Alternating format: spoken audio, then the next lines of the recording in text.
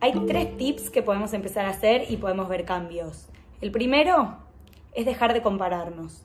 Dejar de compararnos y si tenemos esa tendencia a compararnos, lo que podemos hacer es ponernos objetivos nosotros, de nosotros mismos, de acá a seis meses. Entonces comparamos nuestro progreso de cómo estamos hoy y de cómo, si Dios quiere, vamos a estar y vamos a llegar. El segundo tip, no nos quejemos más, dejemos de quejarnos. Lo que hace la queja es anclarnos en un lugar de víctimas donde la situación que hoy tenemos, nuestro presente que no nos gusta, no va a cambiar.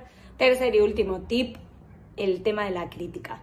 No podemos evitar sacarnos de nuestras cabezas tal vez todas las críticas que hemos recibido, ese profesor que nos hizo pasar vergüenza, ese amigo que nos hizo bullying, ese hermano que nos cargaba, en fin, un montón de críticas que tenemos ahí todas metidas, esas vocecitas que nos dicen. Al que sí podemos controlar es a nuestro yo criticón.